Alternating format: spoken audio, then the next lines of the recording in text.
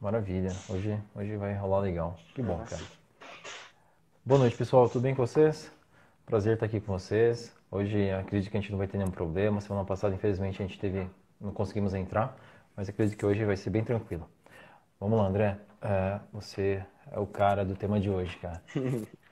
Hoje, como eu estava conversando com vocês antes do Cauê entrar, a gente vai conversar bastante desse período agora pré-prova, né? Essas últimas semaninhas aí Uh, o que a gente passou, né? Eu gostaria até que o Cauê também tivesse a liberdade para conversar um pouco do que como foi na nossa vez, né? Quando a gente estava sentando para prestar essa prova e, e passar com alguns pontos que são importantes, que vão além da prova. Não é só você saber medicina, mas como você vai realmente aplicar aquilo que você conhece e como que você realmente vai lidar com a sua ansiedade, com o teu medo uh, de realmente poder sentar tranquilamente numa prova e poder aplicar aquilo que você sabe.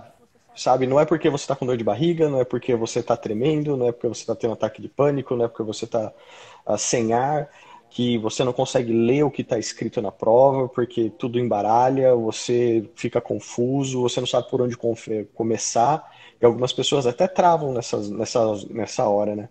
E não é o momento.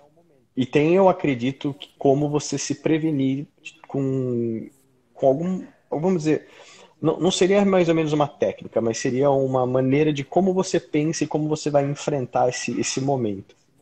Uh, e conversando bastante com pessoas que já passaram por isso, que explicam para você, olha, no dia da prova você vai sentir isso, você vai ver aquilo, uh, você vai estar tá uh, numa cidade provavelmente diferente da que você mora. Uh, se prepare para alimentação, se prepare uns dias, chegue, chegue um dia antes no, local, veja como que é, veja o portão que você vai entrar, porque tudo isso te ajuda a ter uma certa confiança e te ajuda também a, a vamos te, te dar uma paz de espírito, né? Você dormir um pouco melhor porque na tua cabeça você tem o planozinho todo montado, tá? Eu acho que isso é uma coisa que faz uma uma grande diferença para uma porcentagem da galera que tem uma dificuldade em lidar com as emoções. E, cara, querendo ou não, é, todos nós somos humanos. Se você se preparou tanto para uma prova, você tem uma pressão que foi crescendo ao longo do tempo. No começo foi difícil porque não conseguia a data da prova, não sabia se o revalida ia ter, se não ia ter.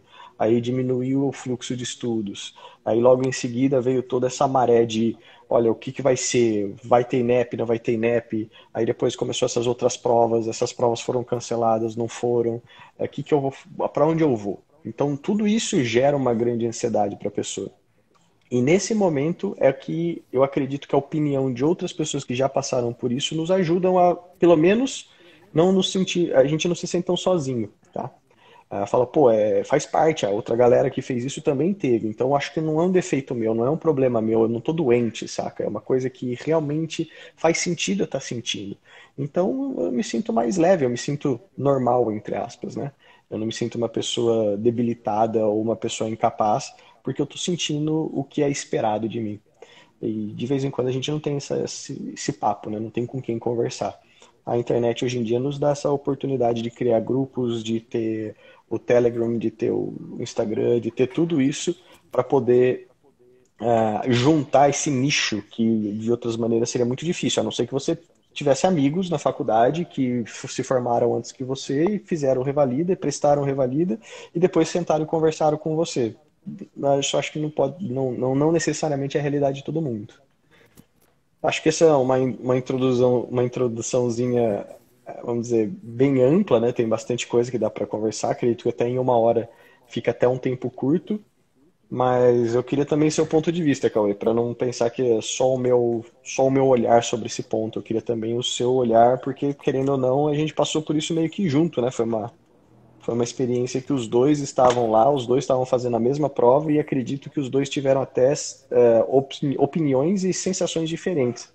Como que foi contigo, Cauêzão?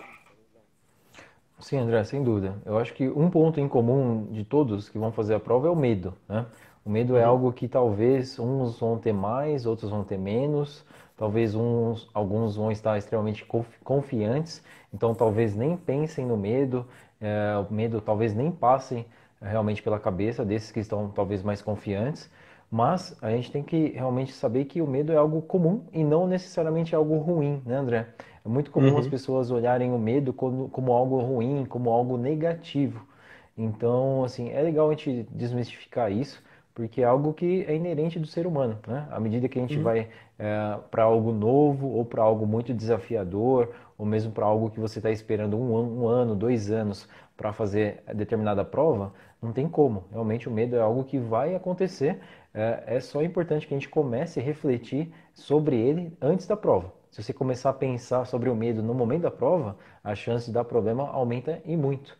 Mas se você começar a trabalhar desde já, a gente tem aí um pouco mais de cinco semanas para a prova. Então é um tempo relativamente bom para começar a se questionar quanto a isso. E eu acredito que dá para uh, eh, realmente uh, tratar o medo de forma positiva e utilizar ele para ser mais uma ferramenta que vai ajudar na hora da prova. Então acho que a confiança é algo que a gente acaba inibindo um pouco o medo, mas uh, tem outros fatores também. A preparação é um deles, né? À medida que você se preparou, que você está confiante, que você não, não necessariamente confiante, mas você se preparou, você sabe que você fez o seu melhor, você vem estudando já há algum tempo, então isso querendo ou não diminui um pouco desse peso todo, né? Então acho que isso de alguma forma é um dos pontos que acaba ajudando contra esse medo. Acho que você pode falar até um pouco melhor, expandir um pouco mais sobre o medo, cara. Certo. Uh, como o Cauezão estava lidando, começou né, o tópico até comentando que o medo não é uma coisa ruim, é realmente, é realmente essa ideia. O medo foi uma coisa que protegeu o ser humano e ajudou ele a chegar onde chegou. Só que hoje em dia, no, no momento que a gente está na nossa evolução, não tem mais nenhum bicho correndo atrás da gente, não tem, nenhum mais, não tem mais nenhum um predador do ser humano. Né? Eu acho que o homem virou o lobo do próprio homem e é realmente, é realmente essa situação que a gente vive hoje em dia. Porém, esse sistema límbico nosso que está lá no, no meio da nossa cabeça, que lida com o centro de prazer, que lida com o, com o centro até de, de medo, ele, ele é usado para você conseguir captar certas informações. Por exemplo, dor. Se você sentir dor, você vai ter medo daquilo que estava associado à dor. Então, vamos dizer, se um cachorro te morde, quando você é pequeno, você vai desenvolver um medo ao cachorro. Toda vez que você vê um cachorro, que você escutar um cachorro, você vai lembrar daquele momento ruim. Só que isso é, uma, é um mecanismo de defesa nosso, é um mecanismo que fez o ser humano chegar até aqui.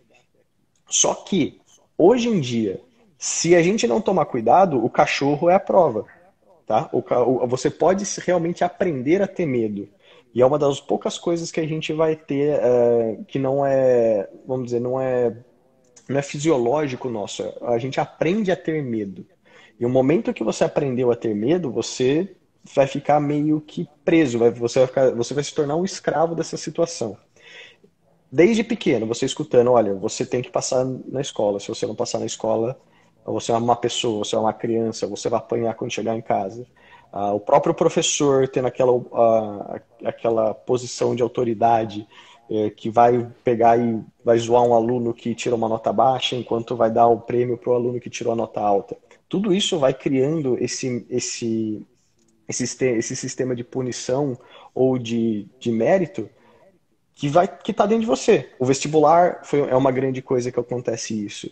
Depois disso, você tem as suas provas da faculdade. E agora, mais uma vez, principalmente para gente que se formou fora, que tem esse, essa situação. Você se sente, pô, ok, eu saí do Brasil para fazer faculdade fora porque eu quis realmente fora, morar fora do Brasil, eu não queria voltar para o Brasil, ou eu estava fugindo do vestibular?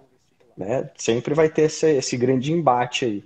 Se você estava fugindo do vestibular, uh, você vai ter que enfrentar agora o Revalida você meio que escapou, beleza. Não tive essa sensação ruim de ter que ficar aqui no Brasil e ficar fazendo quatro, cinco anos de cursinho. Fui direto para a faculdade no exterior e comecei a minha faculdade. Porém, agora você vai ter que estar tá enfrentando esse, momen esse momento de, de realmente de desafio. E se você passar por esse momento de desafio, você vai estar tá ganhando de volta uma, uma noção de que, tipo, ok, eu não, eu, não, eu não terminei com o meu vestibular, eu não fiz aquilo que todo mundo achou que seria o caminho normal, que a maioria aqui do brasileiro faz, porém eu provei o meu, o meu valor, né? Eu provei que realmente eu, eu sei o que eu estou fazendo e que eu também passei por uma prova tão difícil quanto um vestibular, só que focado para medicina, certo? É, isso é uma coisa até positiva de você pensar em passar pelo Revalida. É uma coisa que vai te dar uma autoestima muito grande num futuro, que a gente conversou em umas lives passadas. Mas voltando para o medo de novo. Uh, quando você aprendeu, e a maioria da gente não tem como, a gente sempre teve medo desse teste, de você ser a pessoa que vai falar na frente da na sala, que vai ser testado, que você vai ter que fazer até alguma coisa que você sabe fazer com maestria, mas quando tem quatro ou cinco pessoas em volta de você, você acaba tremendo pelo medo e pela ansiedade. É, te, te limita, te limita a fazer aquilo que você sabe. E, e, usando esse pensamento, você começando a ser racional pelo seu medo, você vai falar: peraí, por que, que eu tô hoje com dor de barriga, com ânsia de vômito, com a cabeça leve, com dor de cabeça, não dormi nada essa noite por causa de uma prova que é um pedaço de papel, que eu sei que é um pedaço de papel, que eu vou ter que pintar umas bolinhas e só. Eu não vou morrer, não vai sair um pedaço do meu braço, não vai sair um pedaço da minha perna, eu não vou ficar cego, não vou ficar debilitado por causa disso. Porém, eu tô com medo como se fosse um leão, como se fosse um bicho que poderia me machucar extremamente. Porque você deu certos poderes para essa prova. Porque você olha aquela prova como se eu não passar nisso, eu não vou poder trabalhar. Se eu não passar nisso, eu não vou poder ter meu CRM. Se eu não passar nisso, eu vou ficar dependente do meu pai e da minha mãe por mais um ano. Eu tenho filhos, eu tenho que dar comida para meus filhos, eu tenho que trabalhar, eu tenho que começar a crescer. Eu tô atrasado porque eu sou uma pessoa solteira ainda, que quer casar, então com quantos anos que eu vou casar? E se eu não passar agora, eu vou ficar enrolando isso até quando? Porque também eu quero ter filho. Então, você vê que você começou a agregar esse, essas, vamos dizer, presas, essas, essas características para a prova para poder te dar um medo desse tamanho. E você também pode retirá-las. Só que é que nem academia. Você não vai ganhar músculo no primeiro dia de academia. Você vai ter que repetir esse, esse movimento de racionalizar e falar: não, essa prova não é tudo isso, ela é só um papel e eu vou é, superá-la e eu vou realmente ganhar meu, meu título como, vamos dizer, como médico aqui no Brasil através dela. Então ela é um caminho para mim, ela está pavimentando um caminho na minha vida, ela está abrindo uma porta para mim. Então ela é uma coisa que vai ser positiva na minha vida. E toda vez que você se sentir dessa maneira, você vai ter que relembrar tudo isso, você vai ter que retrabalhar tudo isso. É um processo difícil, não é um processo fácil, tá? Isso a gente chama de terapia cognitiva comportamental. Uh, você fazendo esse movimento repetidamente, você vai desaprender a ter medo da prova, tá? Então você realmente vai conseguir uh, se libertar, ser uma pessoa livre e poder dar 100% do que você conhece daquela prova. Quais são as ferramentas que você pode usar também para ganhar confiança? Uma é você bater com as suas metas, certo? A gente falou, olha, vamos fazer essas últimas semanas aí, você vai fazer seu cronograma, e a partir do momento que você cumpriu o seu cronograma, você se sente mais preparado, certo? Uh, outra coisa, fazer os simulados. Quando eu faço o simulado, eu realmente estou querendo recriar aquele momento. Então você quase vai sentir um pouco de ansiedade, você quase vai sentir um pouco de medo, e na hora que você quase sentir isso, você vai estar tá lá lembrando: não, isso aqui é só uma prova, isso aqui é só um processo que eu tenho que fazer burocrático, só para mostrar o que eu sei. Eu tenho noção que a maioria de vocês uh. Uh, o conhecimento médico, vocês passaram pela faculdade de medicina, mas quando colocam pressão em cima de vocês, vocês acabam tendo uma certa dificuldade de relembrar as coisas, porque o medo faz isso. O medo vai tirar toda a sua cognição e vai focar em função cardiovascular, respiração e, e músculo. É, tipo, para você poder fugir daquela situação. Só que correr no revalida não vai te ajudar para muita coisa, tá? E tua cabeça não vai estar tá pronta para pensar, para buscar memórias antigas e assim por diante.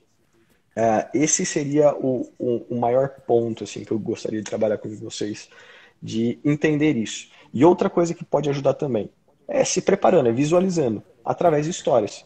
Por exemplo, a gente pode dividir, né, um pouquinho. No meu caso, para eu também não ficar falando muito, uh, o que, que eu fiz bastante quando eu voltei para o Brasil? Uma, eu juntei com os meninos e a gente começou a estudar e eu não faltava no, nos momentos que a gente fazia nossos encontros, a gente fazia via Skype na época.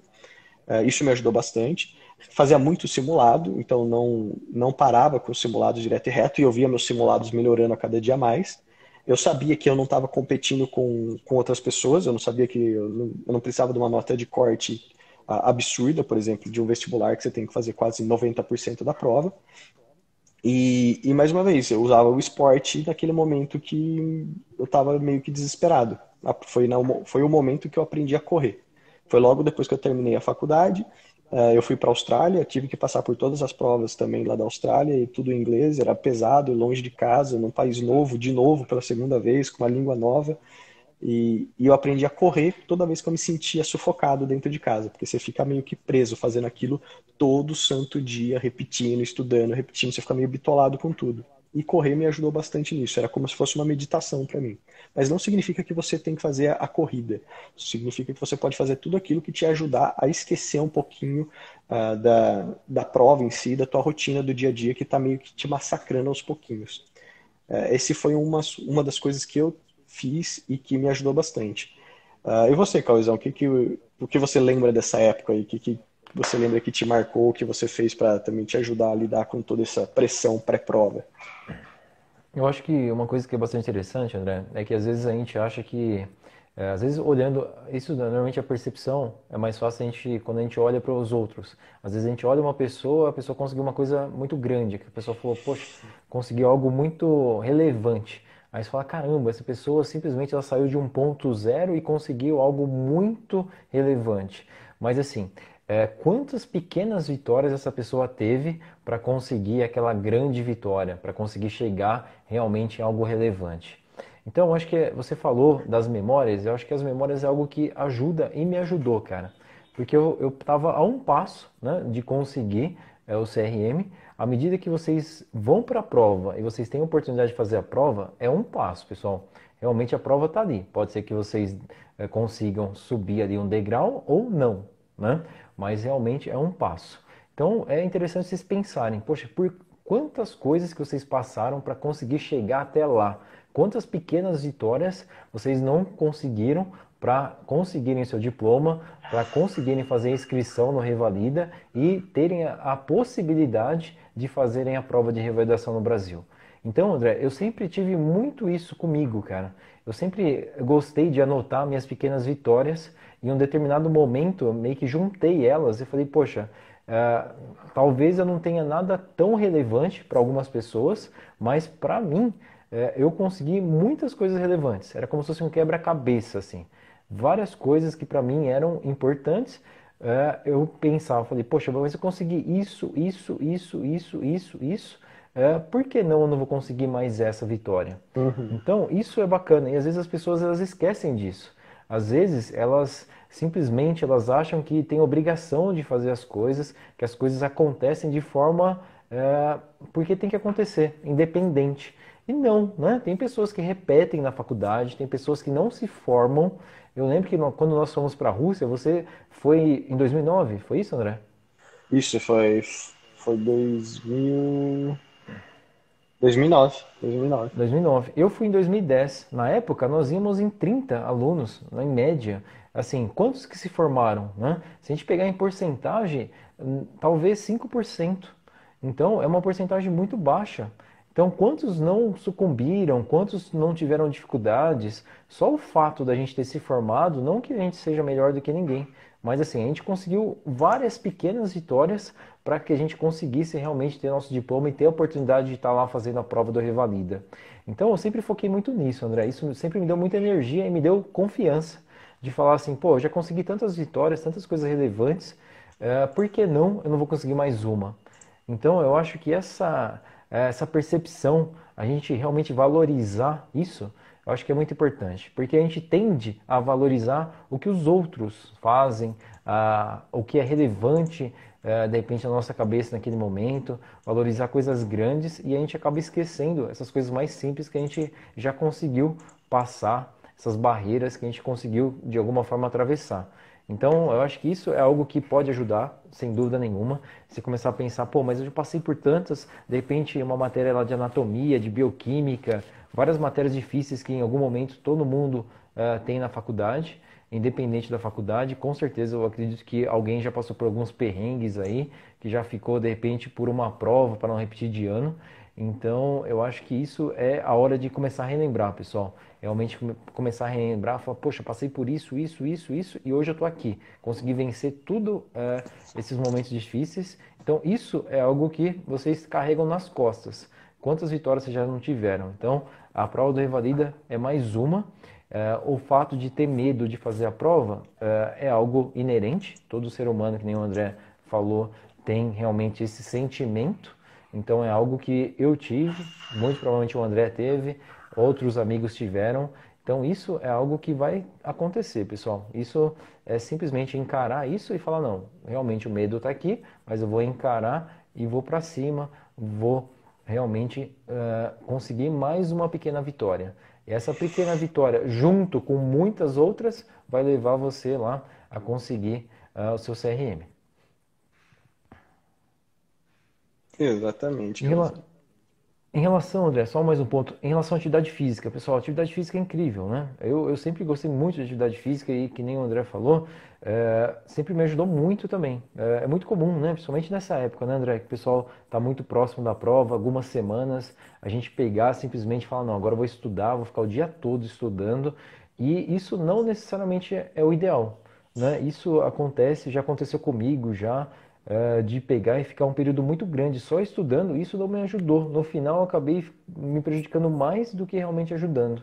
Então é legal ter esse equilíbrio, pessoal. Vamos estudar 10, 12 horas por dia?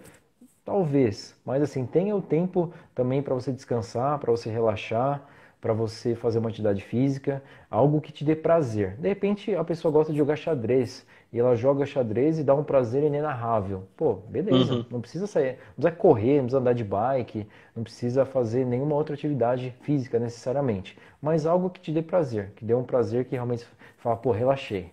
Amanhã vou acordar e vou estar pronto para uma nova maratona aí de estudos. Isso é legal.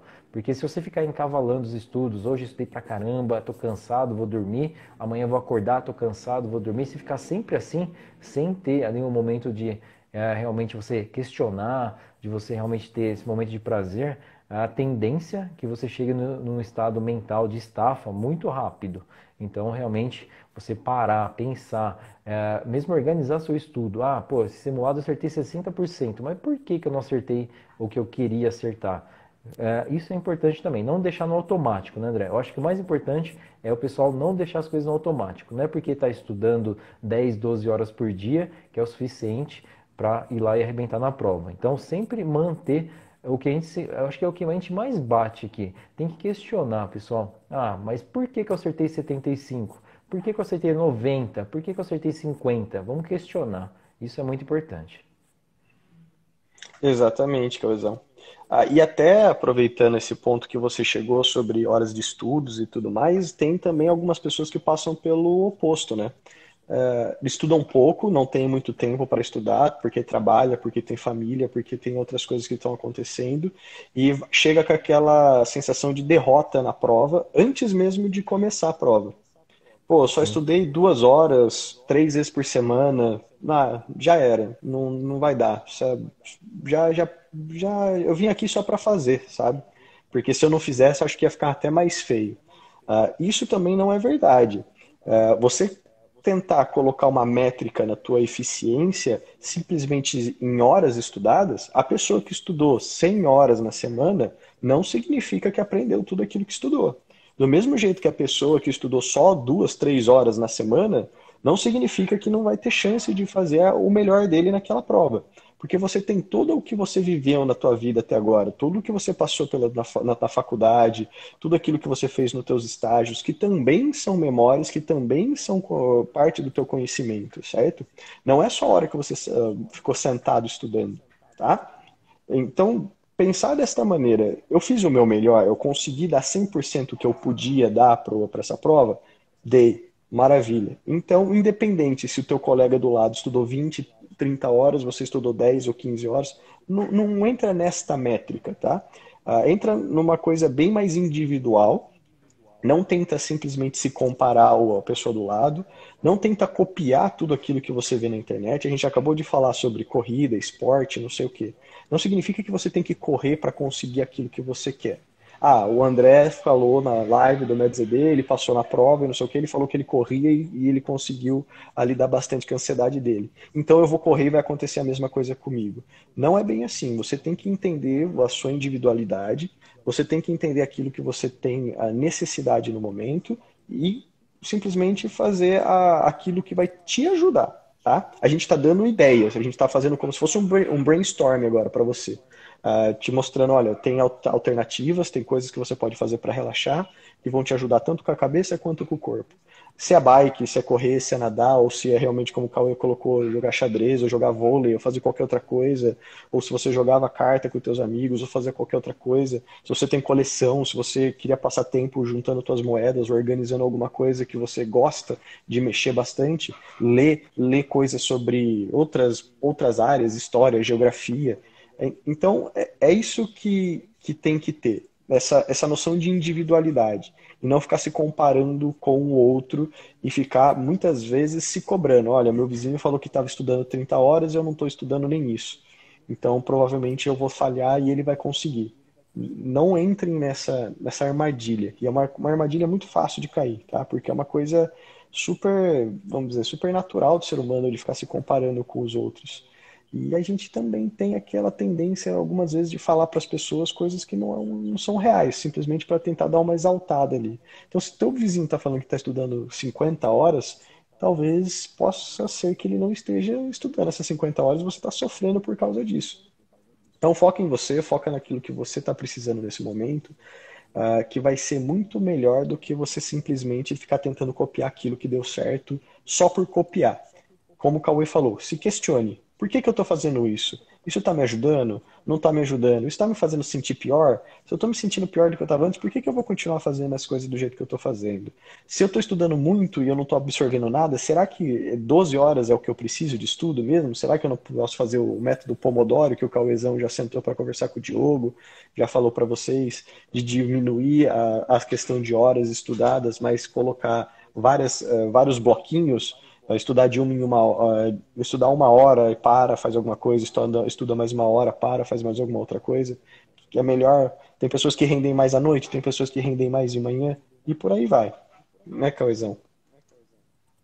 Sim, André. É, é exatamente isso, cara. Tem que ser bem individualizado. Acho que tem algumas técnicas que são interessantes a gente saber, conhecer sem dúvida nenhuma legal. Tem coisa que realmente ajuda e funciona para a maioria das pessoas. Mas como você falou, não necessariamente vai funcionar para todas. Então realmente é legal a gente se conhecer, saber realmente o que funciona melhor para você, né? Isso uhum. realmente é o mais importante. Pessoal, então basicamente é, é isso, né? A gente tentar é, o que a gente queria trazer, pelo menos nessa live, eu acredito que é tentar desmistificar esse medo, é tentar é, trabalhar esse medo. Né? Isso é algo extremamente importante é algo que não é comum a gente se questionar muito. A gente acaba chegando para a prova lá e aí que a gente vai pensar, fala, pô, mas por que eu não fiz isso? Por que eu não pensei aquilo? Por que não sei o que lá? E assim, é legal a gente trazer isso para que vocês já se questionem desde já. Uhum. Uh, e ter uh, pontos né, que dê confiança para vocês, porque realmente a confiança vai ser importante para vocês na prova, pessoal. Não é entrar lá com uh, achando que vai arrebentar. Se a pessoa está mandando muito bem, André, isso acaba sendo um pouco comum, né? Às vezes a pessoa conseguiu é, 75, 80% de acertos nos simulados e está mandando sempre isso. Então ela chega e fala, ah, vou arrebentar. Na hora da prova eu vou lá, certeza que eu vou manter essa porcentagem, talvez eu vou fazer até mais do que uhum. já estava previsto. E não necessariamente, né, André? Eu falo, eu costumo de falar lá para os mentorandos, cara, a gente fala assim, treino é treino, prova é prova, cara. Você uhum. pode estar arrebentando aqui no treinamento, mandando 70%, 80% na prova da USP, e não quer dizer que você vai chegar na prova do INEP e mandar tão bem. Então, assim, tem que ter humildade, pessoal. Assim, humildade é diferente de você não ter confiança. Você pode certo. ter uma confiança lá em cima e manter-se é, humilde, tá? Eu acho que eu trabalhei bastante isso, André. Isso foi algo que, contando assim, eu consegui trabalhar bem isso, cara. Eu cheguei bem humilde para a prova, cheguei uhum. lá super tranquilo, achando que eu ia fazer uma prova realmente extremamente importante, uma das principais provas da minha vida, mas nem por isso, nem por ter estudado, nem por estar uh, realmente, entre aspas, bem preparado para essa prova, porque já fazia mais de dois anos que eu estava estudando para ela, eu cheguei lá com salto alto, achando que eu ia arrebentar. Na minha cabeça, eu tinha muito isso na cabeça. Eu falei, não, eu vou para arrebentar na prova, não que eu vou eh, chegar lá e vou mostrar para todo mundo, ou vou querer falar que vou acertar 80, 90, 100% da prova. Isso não. Isso realmente é algo que é, não é legal e é algo que tem que tomar cuidado, pessoal. Então, assim, mantenham-se humildes, mas com a confiança lá em cima. Então, assim, se começar a trabalhar essa confiança, o que, que te dá mais confiança? O que, que vocês vão trabalhar para poder chegar ali confiante que vocês vão fazer uma boa prova? Isso é muito importante. O fato de ter estudado com você, com o André, com o Percy, eu estudei com outros meninos também. Então foi muito bacana. Estudei com uma galera. A gente estava bem uh, naquele momento. A gente já tinha tido diferentes experiências, tinha amigos que haviam feito a prova do Revalido no ano anterior, haviam passado. Isso também é algo que gera um background, assim, você fala, pô, o pessoal uhum. fez e passou. Eu estudei com eles. Pô, e a chance de eu passar aumenta. Uh, agora eu sei mais ou menos o caminho que eles trilharam e eu vou tentar fazer exatamente igual. Então isso acaba dando um pouco mais de confiança também. Certo. É, então, é, eu acho que o fato de você fazer o seu melhor também, né, André? Às vezes, é. como você falou, você deu, um, você deu um ótimo exemplo, cara. Às vezes a pessoa estuda 30 minutos, só que é os 30 minutos que ela tem. Ela trabalha, ela faz outra atividade, mas ela tem 30 minutos. Então, aqueles 30 minutos é o melhor que ela tem. Então, hum, provavelmente ela vai tomar uma atenção muito grande naqueles 30 minutos. No entanto, tem pessoas que têm o dia todo e acaba estudando 10, 12 horas, mas acaba estudando de forma é, com pouca atenção. O celular toca, vai olhar o celular, a campainha toca, sai, volta depois de 30 minutos. Então, uhum. isso é uhum. muito relativo mesmo. E é algo que a gente tem que mudar. E caso vocês ainda estejam né, é, olhando o celular, parando a cada 30 minutos, a cada 15 minutos, dá para melhorar isso, pessoal. Realmente, esse é, é, um ponto que a gente precisa tratar. Eu acho que a gente pode entrar um pouquinho na ansiedade, né, André? A gente atendendo, a gente vê muito isso, pessoal. As pessoas extremamente ansiosas, com dificuldades para realmente parar e fazer uma única coisa. Eu acho que o foco é uma das coisas que a gente vê que as pessoas têm muita dificuldade hoje. O que, que você acha, André? Exatamente, cara. É ter essa doutrina, essa coisa de você conseguir sentar e fazer aquilo que você se propôs. Porque quando você senta o primeiro dia, você primeiro se arruma a casa toda, aí você lava a louça, aí você arruma o quarto, aí você faz tudo, aí você pega 20 mil canetinhas coloridas, pega, compra livro novo, não sei o que, blá blá blá, e você fez todo esse ciclo, mas é meu primeiro dia.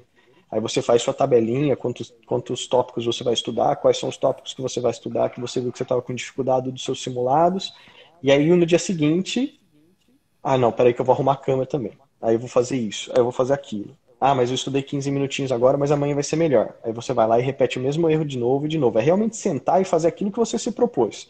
Se você, se você tem 40 minutos para estudar e é só esse 40 minutos que você tem para estudar, aproveita cada segundo. Se você tem o dia inteiro para estudar, beleza.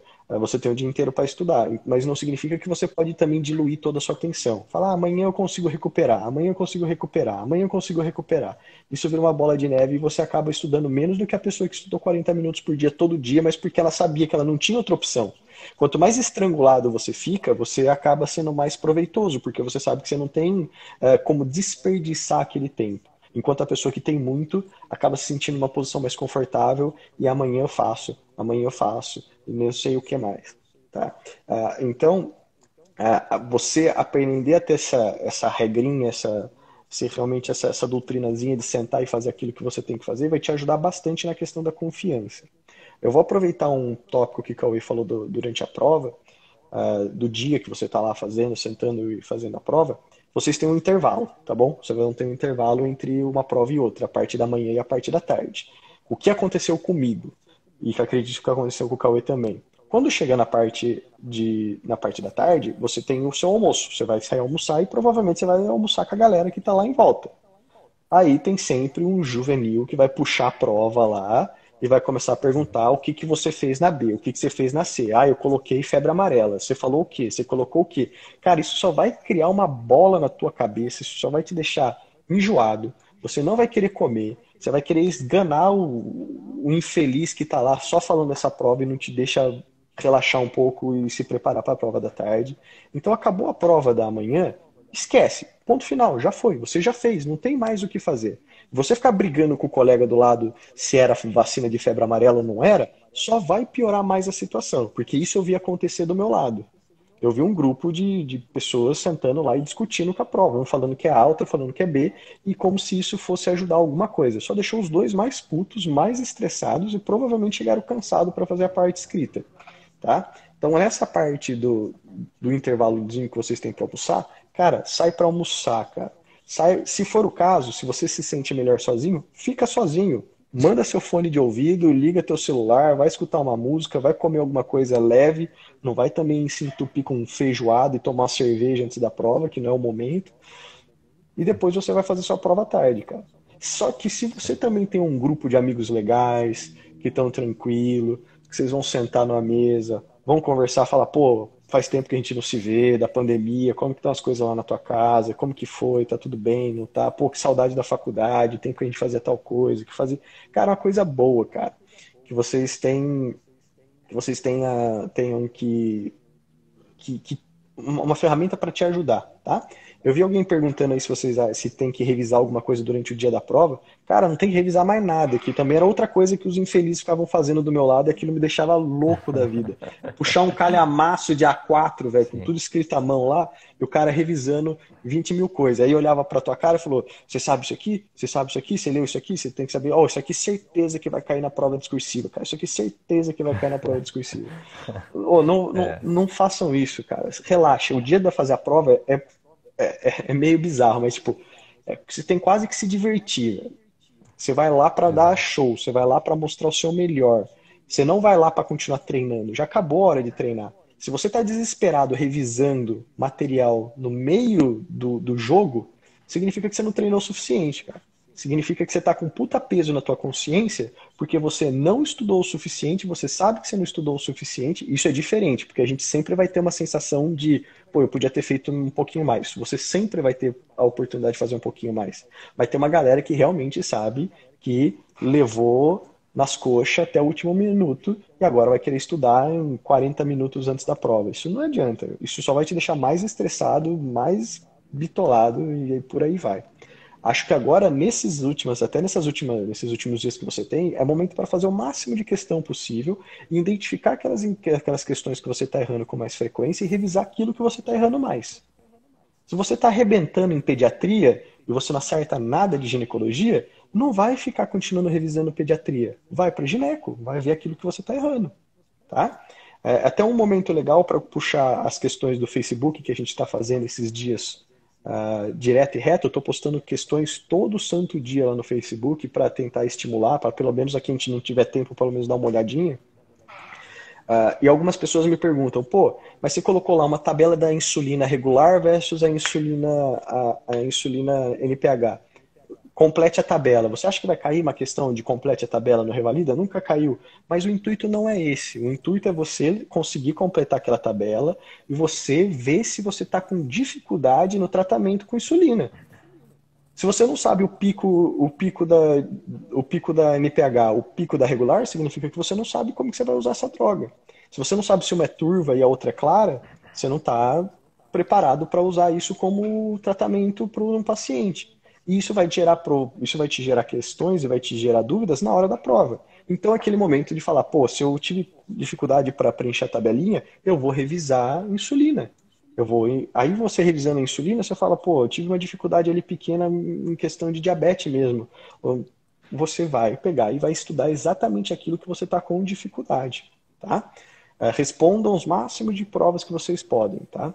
O intuito não é você responder igualzinho o gabarito. O intuito é você identificar aquilo que você tem mais dificuldade para você estudar um pouquinho mais. Porque o que vale mesmo é a que você vai colocar na tua prova final, tá? É aquela que você tem que arrebentar. Você pode ir muito mal nos teus estudos até o dia da prova. No dia da prova, se você mandar bem, acabou, tá? Acho que eu acabei, des... Acho que eu acabei desviando um pouco do, do assunto, exemplo. Foi mal. Não, não, não, não, tranquilo. Mas, assim, só puxando, eu concordo plenamente, André. Eu acho, foi a Denise que perguntou, né? Denise, é, eu acho que nem os flashcards seria legal, legal você estudar no dia da prova, tá legal? A prova vai ser é, extremamente extensa, difícil, é, no sentido do cansaço físico e mental. Então, assim, não tem por que você se estressar mais, tá legal? Uhum. Se você quer estudar, então estude é, uma semana antes, já, man, já aumenta o ritmo, mas eu, eu diria que até no sábado já seria legal parar. Assim, estuda até sexta-feira, sábado para, descansa, vai fazer algo leve, é, que realmente ajude você a, de alguma forma, esquecer um pouco da prova, tentar dormir bem, né? Assim, e tentar dormir bem, pessoal, eu acho que isso é extremamente importante. Todo mundo sabe se você tem uma boa noite de sono, a tendência é que no dia seguinte você tenha um aproveitamento muito melhor. Aí tem pessoas que falam assim: ah, agora faltando dois, três dias eu vou começar a dormir tal horário. Isso é muito ruim, pessoal. Então, assim, tem que começar a se programar desde já, né? Uhum. Ah, falta um mês para a prova. Tá, então vou tentar dormir sempre mais ou menos no mesmo horário, para que quando eu for fazer a prova lá às 8 horas da manhã no domingo, eu possa realmente estar tá bem para a prova. Né? Se você todo dia dorme uma, duas da manhã, e se você acha que chegando um, dois dias antes você vai conseguir dormir às 8, às 9 da noite para chegar descansado no domingo, isso não vai acontecer, pessoal. Tá? Então é detalhe é, simples, mas assim, tem que tentar praticar isso desde já. Tentar uhum. organizar o sono de vocês. Porque assim, mesmo se, se você tiver o sono bem organizado, falar, pô, Cauê, todo dia às 10 horas da noite eu vou para a cama, passa 10, 15 minutos eu durmo. Mesmo se for esse o seu caso, a tendência é que do sábado para o domingo você não consiga fazer isso. Talvez uhum. se você for muito tranquilo, você até consiga dormir, descansar bem e chegar super bem. Mas a tendência é que você tenha um pouco de dificuldade e comece ali é, a rolar na sua cabeça uma série de pensamentos que dificulte um pouco você dormir. Mas assim, é, se você tiver desde já é, preparando para isso, saber que você tem que tentar chegar bem descansado para a prova, a tendência é que as coisas dele vão dar certo, tá legal? Então já comecem desde então, né? Ter bons hábitos alimentares, ter uma higiene do sono. Ah, antes de dormir eu estou na tela, faz 5 horas que eu estou na tela, de repente eu desligo a tela, vou e deito na cama as chances de você dormir e ter um bom descanso realmente diminui, pessoal. Então, começar certo. a fazer essa higiene do sono são coisas simples, são coisas que a gente orienta para os nossos pacientes diariamente, uhum. mas a gente uhum. acaba não fazendo. Eu mesmo, eu em vários momentos acabo ficando um tempão na frente do computador, desligo e quero deitar na cama e dormir. Não rola, né? Eu fico rolando, rolando e é uma falha, grande falha minha. Pior ainda mais minha, né? Porque aquela pessoa que é ignorante, que não conhece, que não tem aquele conhecimento, ok, ela realmente se ela não faz isso, beleza. Mas nós, sabendo que isso vai causar um certo transtorno, a gente não fazer realmente é bem ruim. Né? Isso acontece com a grande maioria das pessoas, infelizmente. Então, assim, só para finalizar, André, é, eu oriento que desde sábado já não estudem. Né? Estudem o máximo naquela semana, dá um gás, chegar no sábado, relaxar, fazer algo leve, relaxar, domingo, tentar ter uma boa noite de sono e ir para a prova e tranquilo, pessoal colocar um fone, colocar uma música legal, de repente até montar uma playlist. Falar assim, pô, qual que foram as músicas do ano que eu curti pra caramba, aquela música que você ficou ouvindo duas, três vezes no dia. Monta aquela playlist para aquele dia da prova. Vai ser aquela música que você fala, pô, olha que legal, esse momento eu tava fazendo determinada coisa, aquela coisa que deu uma boa sensação para vocês. Então, eu acho que seria legal. Montar uma playlist, ah, antes da prova, põe lá um sonzinho, ouve uma música que vai relembrar coisas boas e tentar chegar o máximo relaxado possível para a prova. Certo não, não abusar na cafeína, porque tem um monte de gente que acha que vai virar um gênio do dia para noite, vai virar meia garrafa de café antes da prova para ficar turbinado. A única coisa que você vai conseguir é taquicardia, tremedeira, sudorese e uma bela de uma diarreia. Então, se você é acostumado a tomar café, não fique sem seu café, senão você vai, senão você vai ficar com a sua dor de cabeça. Não é o momento de você experimentar Red Bull pela primeira vez na tua vida. Essas coisas parecem pequenas, mas, cara, isso faz uma diferença gigantesca não vão cair nessa de fazer coisa que você não está acostumado a fazer no dia da prova. Faz aquilo que você está acostumado, faz o teu feijão com arroz. Se você tomou todo dia um cafezinho de manhã, você vai tomar seu cafezinho de manhã também no dia da prova. Se você nunca tomou café na sua vida, não é o momento de você começar a tomar café, certo? Isso ajuda bastante. É você realmente ter o dia da prova como um dia normal. Você tem que fazer aquilo que tudo você costuma fazer. Se você quer dormir mais cedo, que o Cauê falou, começa agora.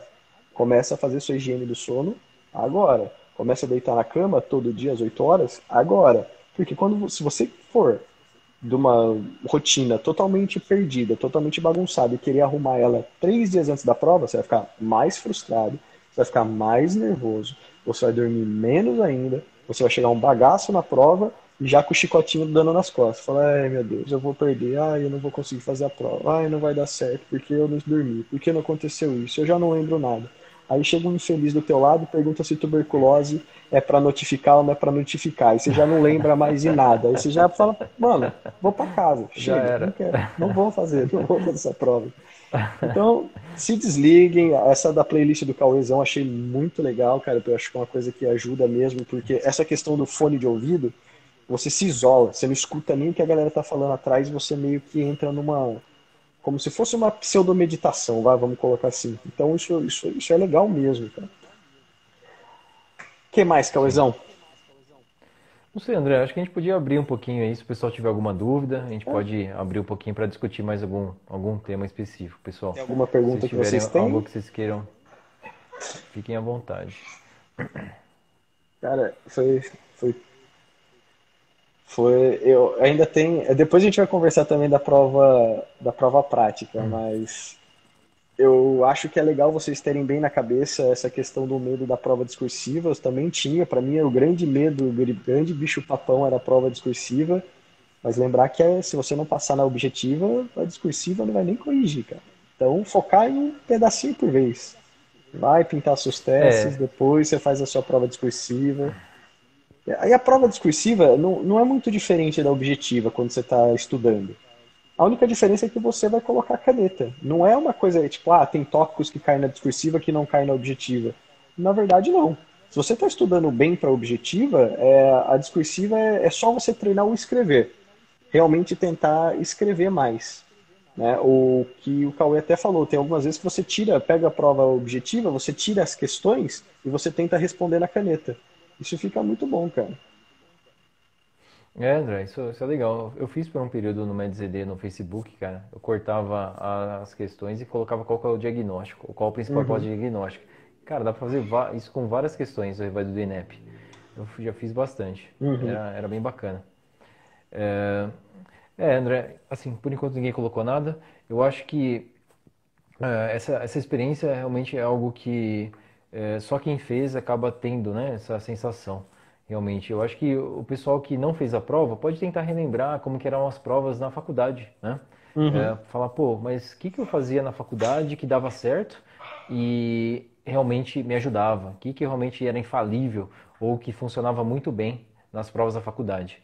Eu, André, um exemplo, eu no começo, no primeiro, segundo ano, era muito assim, cara. Lembra? A gente tinha um peso muito grande no dia de fazer o exame da prova. É, então eu lembro que ficavam enfileirados, às vezes 10, 15 pessoas, é, às vezes só ali na portinha, todo mundo ali, ó, só com papelzinho, lendo o último resumo, aquele último suspiro, né, cara? Você fala, caramba, é a última chance que eu tenho. Aí, de repente, a professora, ou normalmente era assistente, abria a porta e falava, entra 10. Aí contava 10 e entrava. então, cara, era muito tenso. Vocês não têm noção, pessoal. Na Rússia, eu não sei como que é no país que vocês estudaram, mas na Rússia era algo extremamente tenso, e principalmente nos primeiros anos. É. Então, era algo que a gente passou e no começo eu me falhava muito. Eu realmente ia muito nessa onda, assim, de realmente todo mundo tá lá, falar, vou fazer igual. A gente estava com muitos asiáticos. Os asiáticos Nossa. eram assim, os africanos também principalmente os asiáticos, né? Eles ficavam lendo até o final lá, você fala, caramba, os caras são extremamente hard work, mas será que isso é funciona. realmente importante, funciona? Até que um momento eu questionei falei, ah, cara, eu vou, vou desencanar disso, não tá dando certo, Fazer eu vou jeito. estudar, vou estudar o máximo que eu puder durante... A gente normalmente tinha um período, três, cinco dias antes da, do exame para poder é, preparar para a prova. Então eu estudava bastante realmente nesse período. Normalmente eu estudava o dia todo, ia para academia de noite, ia, treinava, corria, voltava no dia seguinte, estudava, fazia sempre o mesmo processo, ia para a prova relaxado, colocava um sonzinho aqui, ficava de boa. O pessoal discutindo lá, normalmente o pessoal até ficava me zoando, porque eu realmente era o mais isolado da turma, cara. É que você não chegou a pegar, André, mas normalmente o pessoal ficava discutindo, mas eu, eu era o mais isolado, cara. Enquanto o pessoal tava lá discutindo, conversando, eu tava lá no meu canto. Aí quando eu via que ia chamar, às vezes eu falava quem quer entrar. Aí eu ia lá, levantava a mão, entrava, mas realmente dava uma isolada, colocava um som. Eu gostava de ver, por exemplo, eu gostava muito, um, assim, uma experiência, eu gostava muito de ver a luta do Mike Tyson, por exemplo.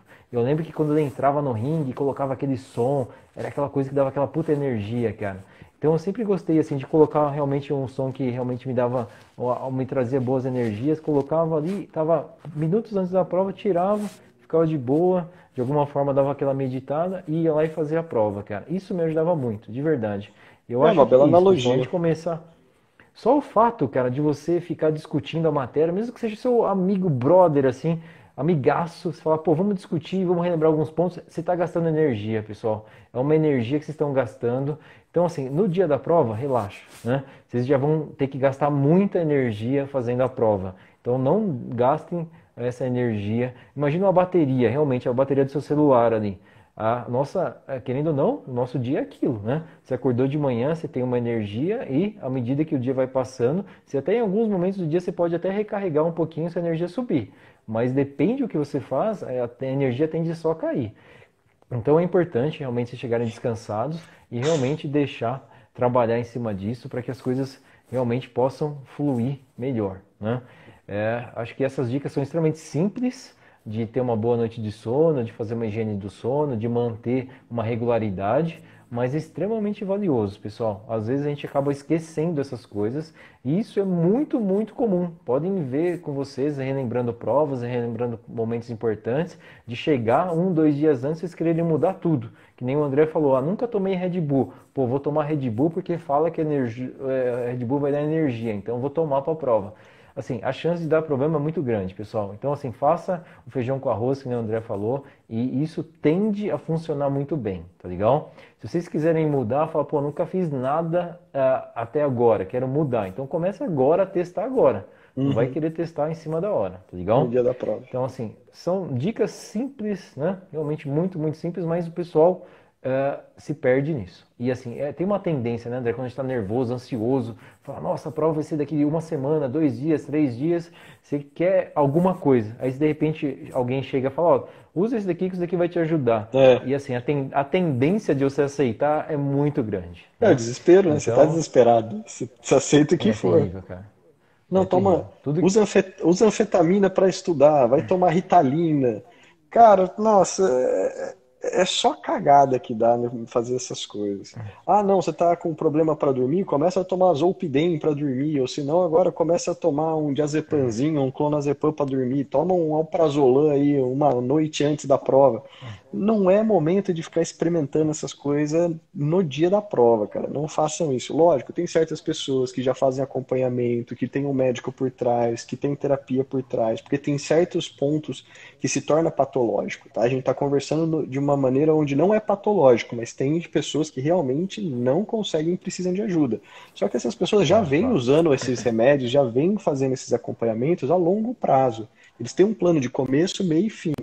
E se ele fala, pô, deu certo para mim, tô aqui uma cartelinha que sobrou do remédio lá em casa e cai nessa onda, você só vai se estragar, vai acabar com a tua memória, vai te dar taquicardia, vai fazer um monte de coisa que vai te atrapalhar no dia da prova. Então, foca no, no que você está acostumado, tá bom? E se você não tem ainda com uma, uma ajuda especializada e você acha que precisa, e claramente, quando que você precisa de ajuda especializada? Quando o medo e o pânico tá te atrapalhando em tudo na sua vida, não é só na prova.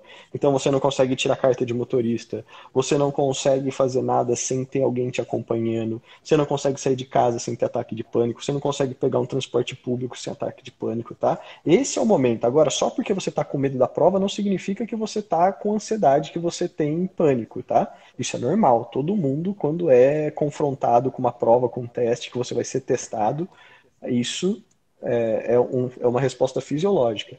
Usa o básico da psiquiatria. Quando que a psiquiatria fala que você está doente? Quando começa a te afetar em tudo. Na escola, no trabalho e na vida social. Se você está afetando nesses três grandes pontos, você precisa de um acompanhamento, você precisa de uma ajuda, tá? Um pouquinho mais forte, uma coisa um pouco mais especializada. Mas fora disso, ah não, eu só tenho um frio na barriga e eu não consigo dormir antes da prova ou quando eu vou fazer uma viagem muito longa. Isso é normal, isso todo mundo tem, tá bom? Acho que até fizeram uma pergunta aqui, perguntaram se as provas na prova discursiva tem meio certo. Tem meio certo na, na, na prova discursiva, tá? Muitas vezes eles perguntam três ou quatro tópicos, e se você, dentro desses três, quatro tópicos, eles colocam a CIT, por exemplo, todos os sinais e sintomas de dor de cabeça. Se você colocar um certo e quatro errados, eles vão pelo menos dar uma, algum chorinho para você do certo que você colocou. Acho que é isso, né, Cabezão? Né? Tem. É isso. Semana que vem a gente traz um novo tópico aí pessoal. Se vocês quiserem colocar alguma coisa pra, como sugestão, pessoal, mandem o inbox no MedZD, tá legal? Que a gente, a gente sempre está aberto aí para poder discutir alguns temas que sejam relevantes para vocês, tá? Mas eu acho que a gente está a gente está sempre trazendo esses detalhezinhos bem aparentemente simples, pessoal, mas é algo que o pessoal costuma não comentar muito, né? É. Então, assim, vamos realmente prestar atenção nisso e são coisas realmente simples que é, fazem muita diferença realmente Sim. no meio da prova, tá legal? Então, então é isso. Beleza, André. Vamos. Eu, eu, eu não sei se o meu está travado aqui, mas realmente eu não estou recebendo nenhuma pergunta. Nem essa que você falou agora, não recebi mais. Mas Ah, é isso. tinha bastante que. aqui. Não, era só essa última mesmo. Tô vendo aqui no Entendi. chatzinho, só que tem que rolar tudo. Hoje foi mais é, hoje foi mais uma terapia em grupo, beleza? Que também precisa ter, tá? São coisas que, por exemplo, eu gostaria de ter escutado quando eu estava fazendo a prova pela primeira vez, porque realmente eu acho que isso faz uma grande diferença e te dá um pouco de paz de espírito, tá? André, Não, ó, só agora, agora entrou para mim aqui algumas perguntas. Agora eu tô conseguindo ver, cara. Treinar tá discursiva para ontem, a Denise. Com certeza, Denise. Não tem por que realmente de- deixar de estudar as discursivas e realmente já tem que começar realmente o mais rápido possível. E dá tempo, né? Assim, a gente tinha colocado algumas metas, eh, seria importante ter cumprido já essas metas, mas caso não foi cumprido, ainda dá tempo, sem dúvida nenhuma. Tem que estudá-las. Sem... Eh, vocês responderam a prova discursiva da UFMT. Eh, o UFMT eu tive experiência de discutir um pouco, de fazer algumas respostas discursivas, mas eh, pouco, tá, Leomar? Pouco, assim, não, não foi algo que eu fiz de todas as provas e nem cheguei a comentar de muitas provas. Cheguei a comentar algumas delas, mas muito pouco. Aí perguntaram se dá para levar o caderno de discur- hum. discursivo ou se era só da subjetiva. Eu não lembro, eu acho que eu lembro, eu só levei o caderno com, com, com os testes. Eu não lembro de ter pego. Exato, exato, só o teste, porque a, da discursiva, É a tudo uma folha só, tá não um, é? a, pergu- a pergunta tá de um lado e a resposta tá do outro, né? Ah, poupar lugar para você colocar a resposta, né? Isso. Ó, o Leomar perguntou se pode levar lanche na hora da prova. É, antes podia, Leomar, Não sei qual vai ser com essa questão da pandemia, né? Porque isso vai, pode mudar É, algumas coisas, né? Pelo amor de pode Deus, ser não que esqueçam a alguma. máscara, levem máscara, tenham máscara, Sim, leva duas, três no bolso, dá um jeito, não vai ocupar muito espaço. seja confortável. É, isso ainda vai salvar a vida de alguém, porque você vai ver um cara desesperado que não tem máscara do teu lado, o que vai acontecer? É, Ó, tem mais uma aqui, André. Deixa eu ver se consigo. Ó, ah, foi a mesma que você falou, da nota parcial. Sim, a gente pegar, normalmente a gente tem, no- na prova do Evaldo do INEP, tem três ou quatro ah, alternativas. E Uhum. aí, totalizando essas três ou quatro, vai contabilizar 10 pontos. Então, vamos por alternativa A. Qual a principal hipótese diagnóstica? Dois pontos. É, aí, se você errou a hipótese diagnóstica, aí não tem, não tem jeito, né? É, Uhum. qual que é a principal hipótese diagnóstica frente àquela apresentação do caso? Ah, lúpus, eritematoso sistêmico. Você vai e coloca, por exemplo, artrite reumatoide. Nesse caso, o examinador não vai dar meio ponto para vocês, tá? Então tem algumas coisas que realmente não tem como quebrar os pontos. Mas se ele falar assim, qual, é- qual o método diagnóstico ou mesmo qual a classificação de lúpus, né? Como que eu vou fazer o diagnóstico? E você colocar ali, ah, ele pediu 5, e você coloca 3, você vai ganhar pontos, sem dúvida nenhuma, tá legal? Ah, pediu 5, eu lembro 4. Aí você fica lá tentando lembrar, mas não lembra o quinto. E você pode pensar, pô, então se eu não lembrei do quinto, eu vou perder tudo a prova. Eles não vão me dar ponto naquela questão. Ah, não, né? Eles vão dar o ponto de acordo com a quantidade de acertos que você teve na, na alternativa, tá legal? Então fiquem tranquilos. Se por acaso pedir 5 e vocês, pô, faltou uma, ah, 59 ok, minutos, né? Cauezão. Pode acontecer. Então é isso, pessoal. Um grande abraço, ótimos estudos para vocês. Espero que a live tenha gerado valor para vocês. Tamo juntos, pessoal. Grande abraço. até mais, muito obrigado. Até a próxima. Segunda que vem a gente tá de volta aqui no mesmo horário, tá bom? Até É isso mais. aí, New Under. A prova do SUS ajuda bastante, sem dúvida nenhuma. Uhum. Do SUS da Bahia. Uma prova bem bacana. Tá E no Telegram, só pessoal. tem 20 segundos aí, se quiser manter até o final também não vai fazer mal nenhum. Não, não, eu só, só falei da prova do SUS da Bahia, ele falou que ajudou bastante, realmente é uma prova que o pessoal está usando bastante. Está ajudando bastante. Para começar, é bem bacana. No futuro a gente vai mudar um pouquinho aí o perfil da prova, mas para começar, para realmente dissertar, é uma ótima prova. Valeu.